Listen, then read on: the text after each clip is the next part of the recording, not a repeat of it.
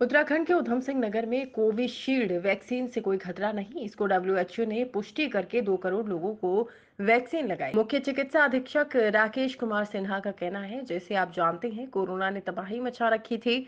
भारतीय Covishield vaccine को भारत के अलावा अन्य देशों में भी कोरोना से निजात दिलाई है। उधम सिंह नगर के जवाहरलाल नेहरू चेला चिकित्सालय के मुख्य चिकित्सा अधीक्षक डॉक्टर राकेश कुमार सिन्हा ने बताया कि कोविशील्ड वैक्सीन से आज भारत के लोग पूरी तरह से सुरक्षित हैं। यदि किसी को दिल की बीमारी व शुगर या हार्ट अटैक हो रहा है, इसमें कोविशील्ड वैक्सीन से कोई साइड इफ़ेक्ट नहीं है। लोग गलत मैसेज भेज रहे हैं, कोविशील्ड वैक्सीन से कोई बीमारी नहीं होती। घबराने की कोई ज़रूरत नहीं है, कृपया अफवाहों पर ध्यान ना दें।